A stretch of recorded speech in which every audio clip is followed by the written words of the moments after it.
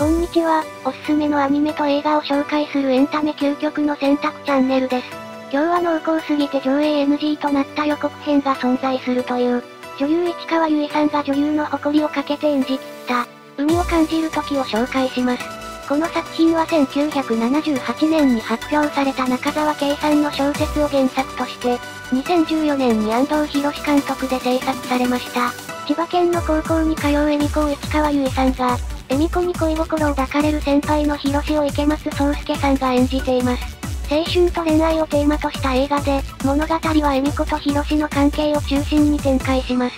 高校生の恵美子は先輩の広志に恋心を抱いていますが、広志の方はあまり乗り気ではありません。広志がある日、キスをしてみたいと言い、恵美子は当然それに応えます。広志のこの行動は好意から来るものではなく、思春期特有の性欲によるものでした。当然、エミコもそのことに気づいていましたが、二人の行為はだんだんとエスカレートし、ついには一線を越えてしまいます。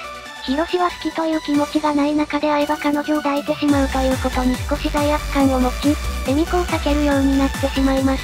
しかし、エミコはエミコで都合のいい女でも構わないとヒロシと会うことをやめようとはしませんでした。その後、高校を卒業した後でも二人の関係は変わらずにいたのですが、恵美子はヒロシとちゃんとした恋人になりたいとの思いを募らせていました。その根底には二人の関係をよく思ってない恵美子の母親の存在も大きかったのです。二人の関係の他にも、恵美子とその母親との親子関係のドラマでもあります。この映画の最大の見どころは、なんといっても市川由衣さんの体当たりの演技です。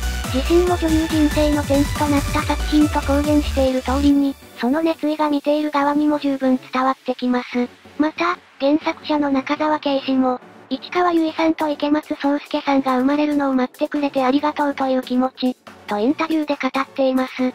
それほど原作者のイメージとフィットしているということなんですね。以上、今日は海を感じる時をご紹介しました。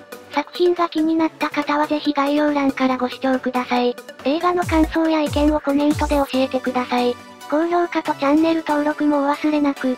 最後にこの作品を合法的に無料で見れる裏技を紹介します。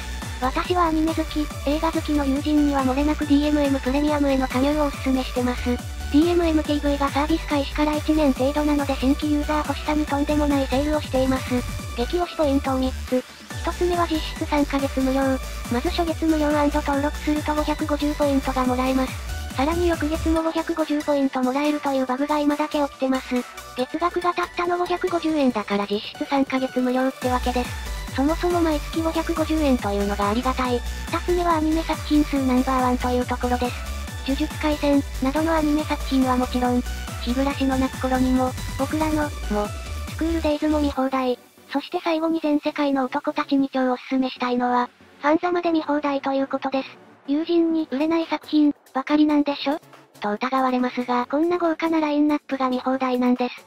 作品総数は2000本以上。しかも新作も定期的に追加される紙仕様。追加料金もありません。この動画の概要欄からキャンペーンページに飛べるのでぜひチェックしてください。それでは本日はここまでご視聴ありがとうございました。